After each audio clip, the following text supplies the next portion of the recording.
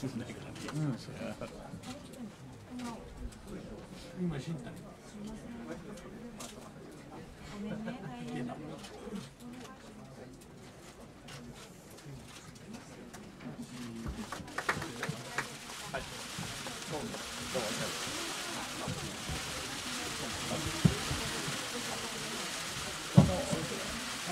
じゃあこのまま立ったままあのバラ付けの方お願いしますので。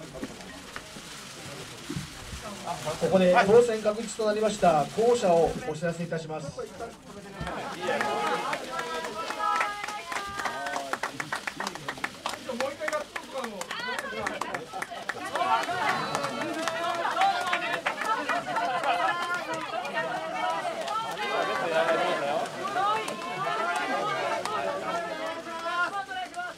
はい、はい、どうもありがとう。は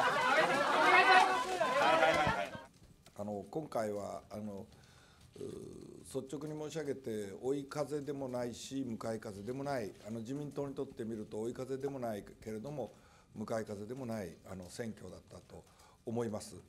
で現在自公であの300議席を超えるというところまで参りました原因は先ほどのような安定した政治に対する期待と同時にですねあのなんて言うんでしょうかいろんな自民党の政策に対する批判をあの野党も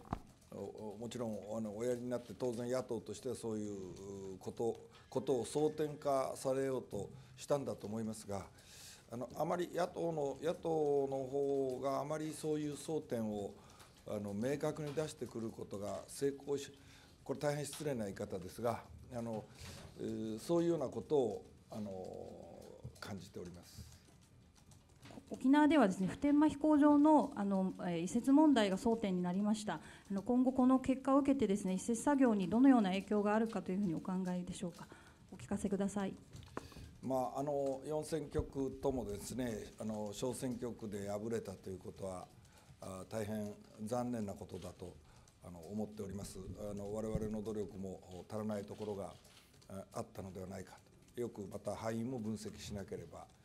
いけないと思います。それからまあ基地問題等々ですがやっぱり私どもはあの一貫して申し上げておりますように一番大事なことはですねあの普天間の危険性を固定化しないということだろうと思います。普天間の危険を危険な普天間の基地の状況を早く変え変えていくことだと、えーそうなりますとやはりあの現時点では選択肢はあのなあの辺野古という選択肢しかないと私どもはあの考えておりますので、えーやはりその基本路線はきちっと守って進めていかなければならないんだろうというふうに考えております。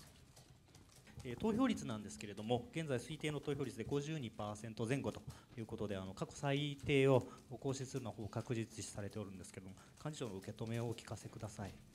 あの必ずしも十分なえーご関心を引くに至らなかったのかもしれないと。そこは我々のあの戦い方の反省もしなければならないところだなとあの思います。えーただ言って申し上げますともうあの最近は非常に何て言うんでしょうか。あの分析手法というか予測手法も高度になってまいりましてかなり事前にそれがたくさん出てまいりますとやっぱりあのそれで結果がその通りになるということが多いもんですから、えーなんとなく自分があの権利を行使してそれが結果につながったっていうお気持ちになりにくいような側面もあるのかなとここはそのなかなか難しいところですが、あの今回見ておりますと若干そういう感情を持たないあの持たないわけではございません。あの集団的自衛権でありますとか原発のエネルギー政策そういったことについても、まあ、信任を得たのではないかというあのご認識を示されました幹事長はどのようなご認識でしょうか？まあ、今回あの、まあ、もちろん今総理のおっしゃったように公約もありますしそれから、まあ、野党の中にはそういうことをかなりあの時間を割いてあの議論をされていた方々もあったと思います。あのまあ、メディアもかなりそういうところを取り上げてのごかあの解説といいますかねえーそういうのもあったと思います。我が党はどちらかと申しますとアベノミクスを中心にあの主張というか訴えていた方が多いと思いますがそれでもまあ今のようなその安全保障切れ目のない安全保障を作るということを議論していた方もあのかなりいらっしゃると思いますね。だからまああの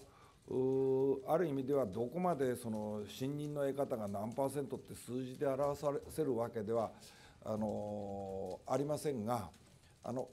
ある程度は議論になったんだろうとは思います。